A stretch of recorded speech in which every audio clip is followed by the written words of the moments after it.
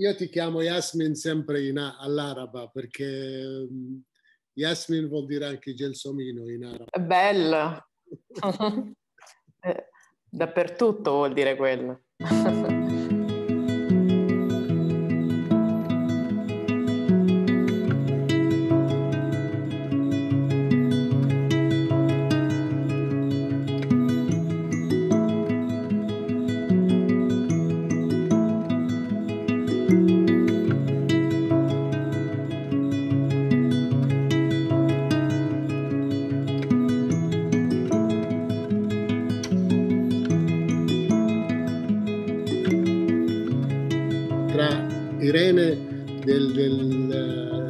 stanza del figlio e l'allegra della guida romantica a posti perduti, ci sono molti ruoli, non dico ci sono molti anni, ma molti ruoli e quasi tutti azzeccati. Tu non hai sbagliato nessun ruolo eh, in, in, questi anni, hai presentato una galleria di personaggi veramente eccellenti. Mi stavo chiedendo mentre stavo preparando per questa intervista qual è il ruolo che non ha fatto Jasmine e poi ho scoperto che non avevi fatto ancora la regista e hai fatto la regista con Being My Mother. Sì, di un piccolo film.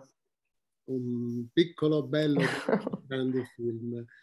È la storia di due donne mh, mm, sole ma non solitarie che si scambiano i ruoli. Iniziamo con la madre che sta facendo la bimba nascitura appena nata e la, la, la figlia che lo sta guardando. I ruoli si scambiano, ma poi alla fine la scena finale, che non diremo che cos'è, dimostra la bellezza del rapporto che ha una madre con, con la figlia, con il cinguittio dei degli uccelli, perché c'è un continuo, costante presenza dei, dei, dei volatili, il loro cinguitio, e quel, quel gesto finale come dare la continuità di vita ad una figlia, a un figlio. Eh sì, è un po' così, è un film mh, giocato sul ribaltamento dei ruoli e in particolare sul ribaltamento del ribaltamento nel senso che eh, io mi sono sentita a lungo nella vita la madre di mia madre, perché avevo una madre molto libera, molto poco negli schemi, e per contro io ero una figlia molto quadrata. Eh, quindi ingiustamente a lungo l'ho creduta in un altro ruolo e il film è un po' un, un modo per, per, fare pace con questa, con questa idea, è una forma di risarcimento perché penso ormai, essendo anche diventata mamma da diversi anni, che, che naturalmente non c'è la, la, la, brava madre, no? La madre che corrisponde a un modello. Eh, eh, purché si sia, come dire, in un, in un, sentimento di bontà rispetto ai figli. Ecco, io penso che quella bontà, quel nutrimento che c'è anche nel film a un certo punto, eh, l'ho vissuto con la mia mamma e quindi era molto importante per me cercare di, insomma, di restituirle qualcosa con questo, con questo piccolo film muto, tra l'altro, muto nel senso che non ci sono dialoghi eh, tra loro due, c'è chiaramente una forma eh, di comunicazione che passa invece dal corpo, no? dalle situazioni e poi questa Roma deserta, che è una Roma, in realtà una Roma pre-Covid, eh, non c'entra nulla, no? Questo il lockdown. Mhm. Era più un'idea di immaginare appunto non solitarie, ma due persone che si percepiscono tra di loro fondamentali, essenziali e che poi invece non lo sono così tanto rispetto all'universo. È un universo dove appunto ci sono non solo uccelli che cantano, ci sono cicale, papere. È una città, come dire, abitata da, qualcos'altro che non, che non gli esseri umani.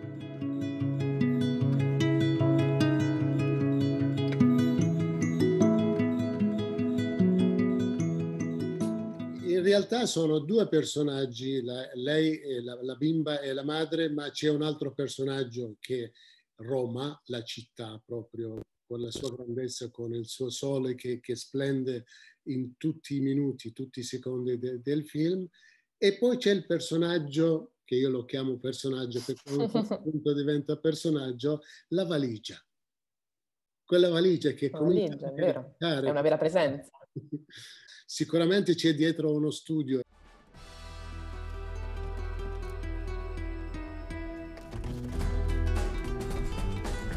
Il cuore mio non dorme mai, sa che di un altro adesso sei. Tua madre va dicendo che a maggio un uomo sposerai, passi in fondo al cuore tuo.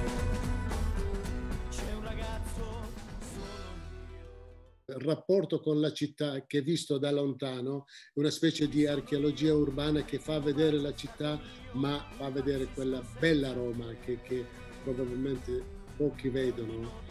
Eh, sì, è una Roma un po' inedita, una Roma non da cartolina. E poi la valigia. Come hai costruito questa valigia che qualche volta è leggera come la piuma, ma qualche volta è pesante che deve essere portato a due? È vero, no? Questo inizialmente mi veniva detto, eh, beh, la prima domanda è sempre cosa c'è nella valigia. Ma come mai questa valigia potesse essere improvvisamente leggera, no? O un terribile fardello?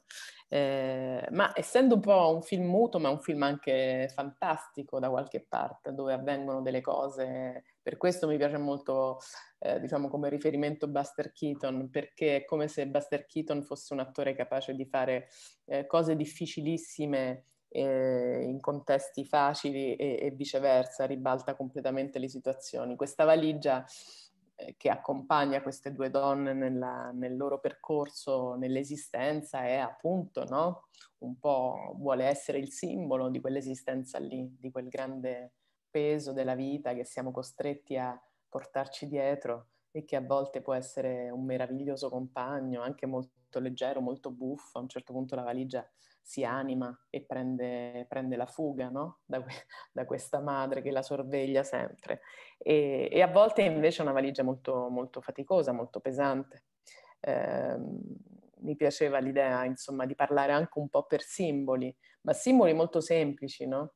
Sono convinta che, che nel racconto la semplicità no? porti sempre al risultato più forte e quindi è stato difficile anche al montaggio provare a togliere tante cose, c'erano tante cose che avevo girato, anche molto belle, ma che poi alla fine non c'entravano più con questo discorso veramente semplice e lineare di queste due donne in una Roma senza tempo, perché senza tempo? Perché è una Roma, come dicevi giustamente, un po' di archeologia urbana, no? non capiamo bene eh, dove ma allo stesso tempo non capiamo quando, perché mi piaceva l'idea di un sole zenitale che, fa- che rendesse faticosissima questa passeggiata per, per, queste due donne, un sole che non, non dà mai tregua, no? È un, come dire, sempre alto, sempre alto lì con loro.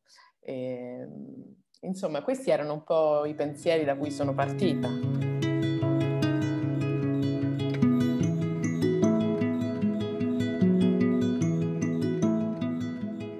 lavorato anche molto su, su una musica francese che ero convinta di voler mettere nel film, che dava tutto, dava il passo a questo film, dava il titolo a questo film e poi mi sono resa conto che era talmente tanto un segno che si sovrapponeva al, al segno che era diventato questo film che l'ho tolta e ho scelto di mettere invece una, una um, canzone pop no? di Massimo Ranieri che, che è appunto un insomma, cantante molto celebre, che in qualche modo mi, mi, parlava di quello che stavo vedendo, non soltanto di una città che brucia, ma anche di una dichiarazione d'amore, che nel mio caso poi era di, una dichiarazione di una figlia alla propria mamma.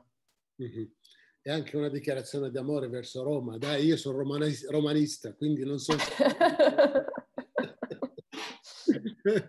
anche se abito a Firenze, ma sono romanista, quindi...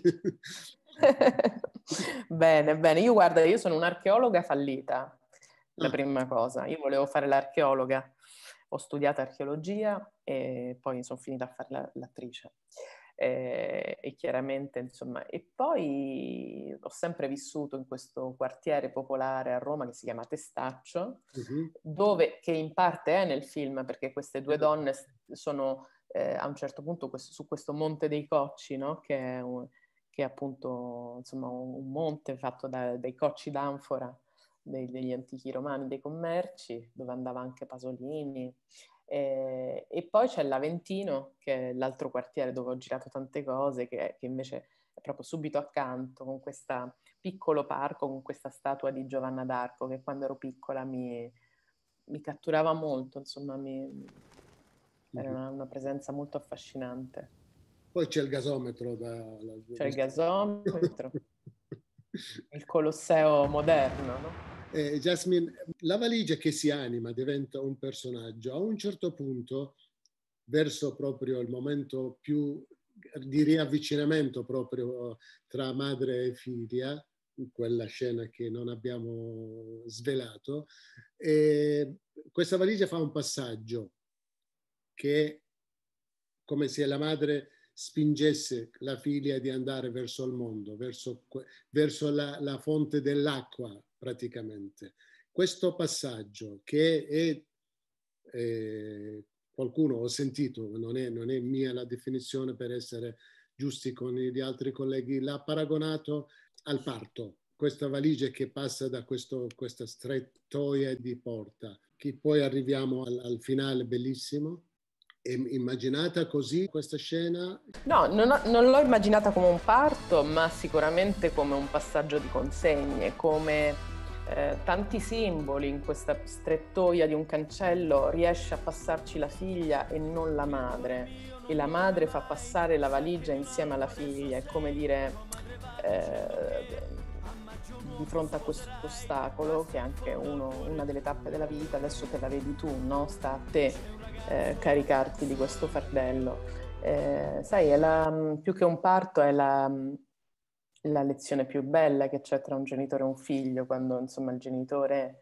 è in grado di non solo di lasciare andare un figlio, ma di attribuirgli ecco, la responsabilità. È l'inizio di un percorso dietro la cinepresa, la telecamera, o tornerai a fare l'attrice Senti, è stato talmente un momento di, di benessere, di, di, godimento, di felicità, di libertà che, che penso da qualche parte mi piacerebbe provare ancora a fare qualcosa, a divertirmi ancora con questo gioco.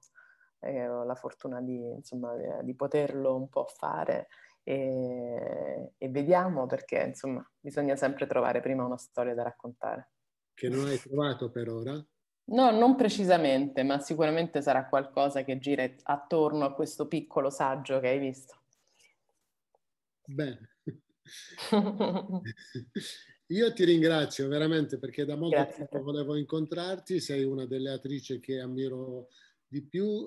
Grazie mille. Grazie. Grazie del, del tuo tempo. Grazie, grazie a te. Ciao. Ciao, ciao, ciao alla prossima.